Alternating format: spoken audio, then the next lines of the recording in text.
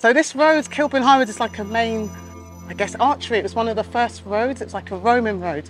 Yeah, so we're just approaching Brondesbury Bridge, which is on Kilburn High Road, part of Network Rail, the overground service. It's uh, needing a bit of bit of love.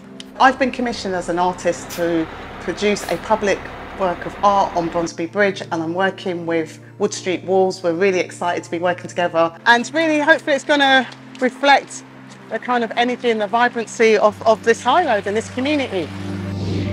I'm going to be engaging with the local communities in Camden and also in Brent and yeah, just running workshops, finding out what people think, what are some of the essences about Kilburn in terms of the history, the culture, how that might be reflected in the art that I produce that's going to be put on this bridge. That's why I've called it Kilburn Up High, like you can't miss it. I think it's like a central bridging across between Brent and Camden. There'll be various workshops that I'll be running between August and September. I just love it. It's like my favourite one and the way she's got like the sheer dress on and stuff.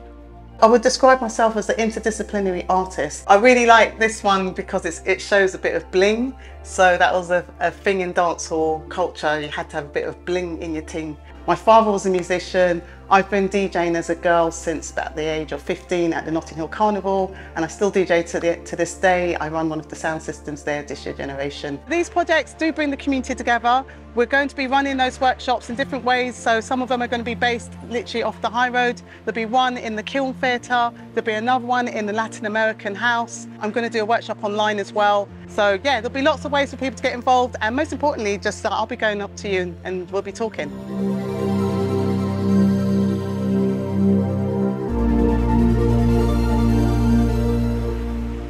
Yeah, I'm excited to see how, how it develops and how we reflect the vibrancy of this very unique high road. Still got lots of character to it.